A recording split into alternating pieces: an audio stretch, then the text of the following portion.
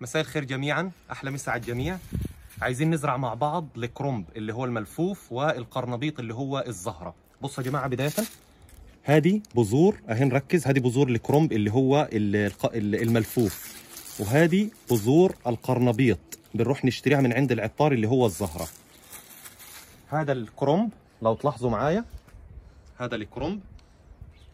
تمام. نشوفه مع بعض.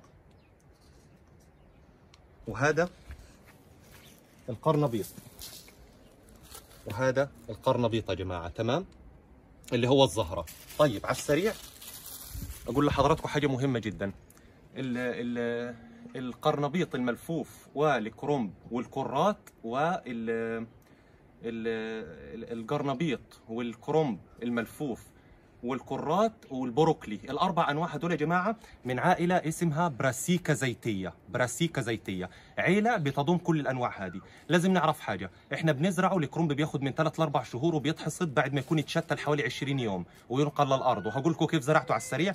والزهره القرنبيط بياخد من أربع لخمس لست شهور. لكن يا جماعة لو هنزرعه للزينة النبات هذا ثنائي الحول يعني ممكن يقعد سنة ينمو والسنة الثانية يزهر ويكبر في حاويات ويبقى للزينة في البيت. فلازم نبقى فاهمين النقطة هذه مهمة جدا. طيب طريقة الزراعة. زي ما أنتم شايفين يا جماعة أول حاجة بنجيب البذور البذور هنا. البذور بنحطها في صينية التشتيل أو في كوبايات بلاستيك أو كوبايات زبادي. بنحط بذرة اتنين في كل واحدة. ونسقيها يوميا. دايما رطبة لغاية ما تبدأ تكبر معانا. بتاخد حوالي 20 يوم. بعد حوالي 20 يوم بنبدأ باخد الشتل زي ما هي ونيجي. طبعا أنا هاوي زارعهم في البيت المفروض يكون بين كل واحدة واحدة أقل حاجة 30 سم لكن زي ما أنتم شايفين بنحرس الأرض ونعمل خطوط ونحط سماد عضوي بيبقى اسمه سماد أساسي قبل الزراعة. بيتشتل معانا في 20 يوم بعد كده ننقله للأرض. هذا الكرنب أخذ سماد أساسي وهذا القرنبيط. بعد كده بيقعد معانا نفضل نديله مية ونخلي دايما التربة رطبة ومتسمد. بدأ يكبر ودخلنا على الربيع بنبدأ نديله دفعة سماد تانية. وبنقلم دايما كل الزابل اللي تحت ونفكك التربة. لازم نحرس ومع الوقت نفكك التربة ونخليها مت- متباعدة عن بعض ونقلل نسبة الري اذا كده يا جماعة آه، زرعنا البذور وبعد كده نقلناها للأرض وبعد كده بدأت تكبر معانا. هياخد معانا من 3 ل 4 شهور اللي هو الملفوف وهذا هياخد 4 ل 5 ل 6 شهور لغاية ما يكبر. يبقى دفعة اسمات تانية هتكون في الربيع المكان المشمس أو ظل جزئي مناسب.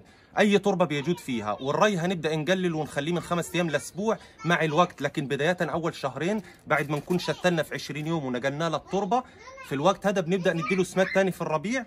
وهذا المكان المناسب. الري بيبدأ يخف شوية شوية. نقلم الزابل نفكك له التربة من تحته لغاية ما يكبر معانا. هنبدأ نلاقي الروس كبرت.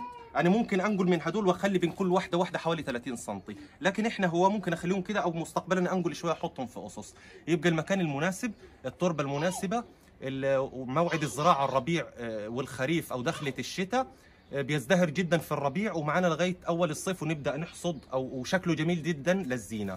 كل هذا من عائلة اسمها براسيكا زيتية بتضم كل الأشكال. آخر شيء نشوفه مع بعض ثاني. شايفين يا جماعة؟